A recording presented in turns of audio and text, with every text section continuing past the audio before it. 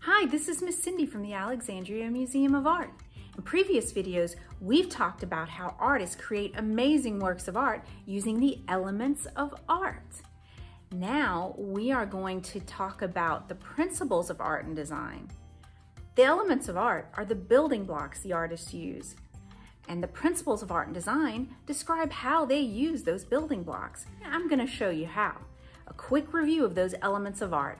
The elements of art are line, shape, form, value, color, texture, and space. Now that we've reviewed the elements of art, let's talk about those principles. The first principle is balance. Balance refers to how the weight in an artwork is distributed. If the weight and the elements on both sides of the artwork are exactly the same, that's called symmetrical balance. When balance is arranged from the center point of the artwork, that's called radial balance.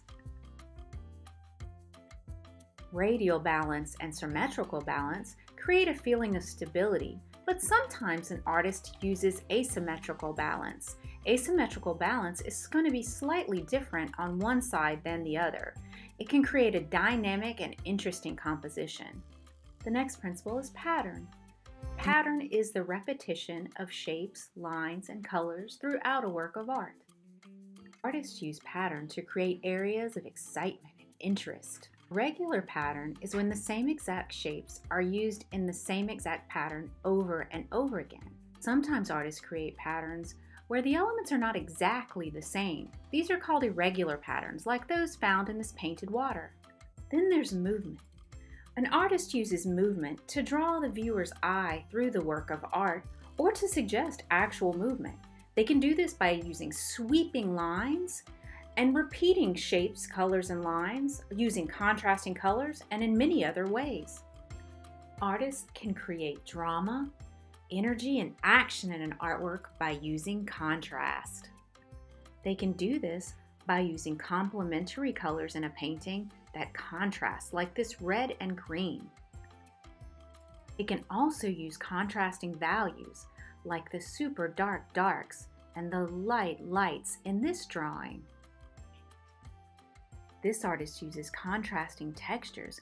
Notice the smooth texture of the egg and the rough texture of the rest of the piece.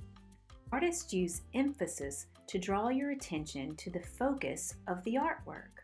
Here, the artist used lines that point to or converge on the main subject of the painting.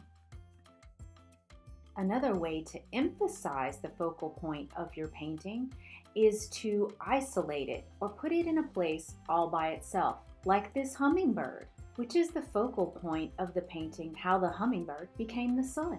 Artists use unity to create a sense of wholeness or cohesion in a work of art.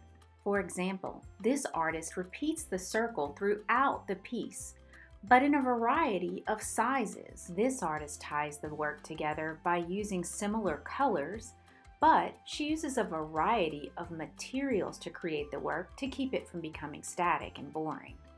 If you look carefully at this piece, you'll notice that the artist uses the same texture all throughout the painting, but she uses a variety of patterns Proportion refers to the size of the objects in a painting and how they relate to one another. Notice the houses in this painting.